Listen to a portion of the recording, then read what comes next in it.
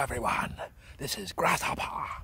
He was watching the news at lunchtime and there was this. They've reported that there are super carriers of COVID 19. Ah. And they infect people. You can be in a group of people and there's one person is a super carrier and he can infect you all. And then you're all infected, but some of you might not might not pass it on, but then you can still get very ill. Wow, this is amazing, guys. If you've got a super carrier and he goes into a Bristol or a London or a Cardiff or any city and he gets into a group of people, here's my little yellow friend. He can sense COVID. He can help you against the super passeron, the super the superhuman carrier that passes the virus.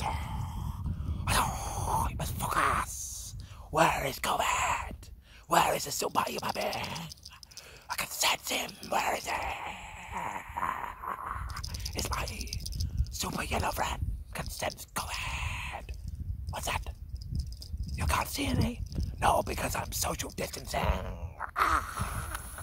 There's no one. Yes, my little yellow friend. I know. We must all social distance even more now because we have this super carrier of COVID that can infect everybody. One person can go into a city and infect it. Then all the track and tracing goes out the bloody window.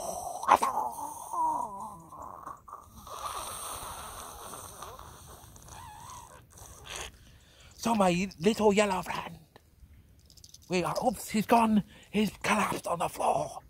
He didn't have his porridge this morning. But never mind. The key fact is now we have these superhuman beings, even more powerful than Superman, that can infect us. So when you go in the bubble at Christmas, you could have a superhuman carrier go into your homes. You must stay six foot. You must stay six foot. Everybody now must stay six foot away. Because we now got superhuman carriers of COVID that can infect everyone. So track and trace you can have some person come into your city and go into the pub or a football match and infect everyone. Oh God! This was on the news today,